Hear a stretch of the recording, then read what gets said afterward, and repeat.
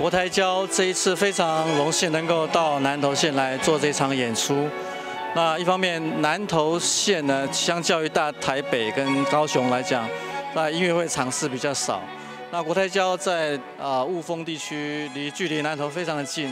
我们很希望在南投能够发展出，呃，在音乐推广上面能够与南投的乡亲、南投的朋友，呃，更多成为欣赏音乐的的伙伴。那么，因为这一场，我们也要特别邀请到重量级的国际级大师林兆亮老师来担任担纲，所以我想这个节目一定精彩可期。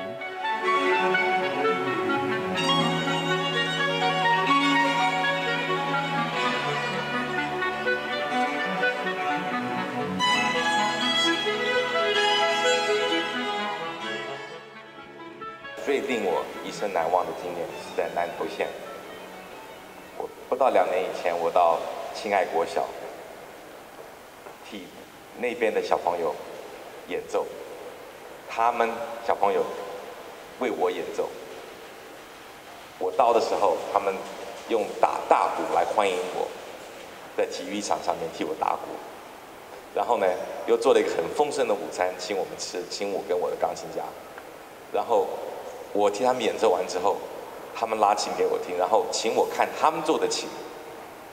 然后这些是小朋友啊，还有他们非常热心卖力的老师们，带他们到台中去定时去上小提琴的课程，教他怎么样做琴。他们都是先做木工开始，然后过了一段时间有训练之后，才才能够做精致的小提琴。有一位六年级刚毕业的毕业生，他做了一把琴。啊，送给我，啊，这把琴我带回到美国去了，就放在我的这个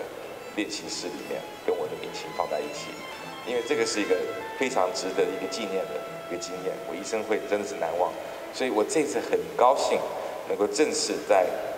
南投南投市能够有一场音乐会。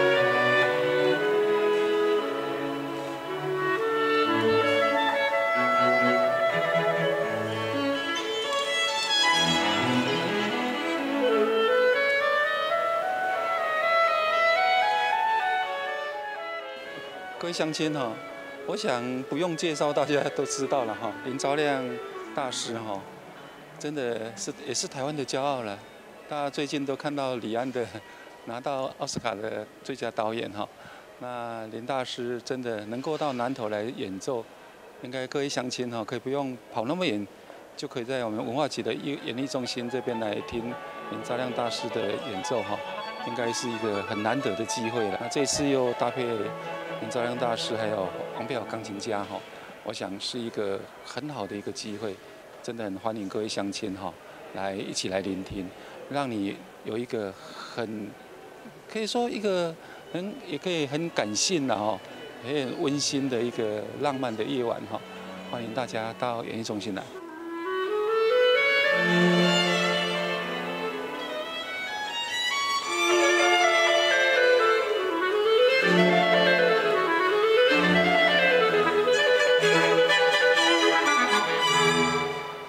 月的时候，我会回来，再做一个对我来讲特别有意义的一件事情，就是做一个呃青少年音乐音乐营夏令音乐营的一个音乐总监。我已经请了一些国际最出名、最出色的一些华籍的音乐家来做老师啊。现在开始在招兵买马，在各地希望有不同的这种啊国内海外的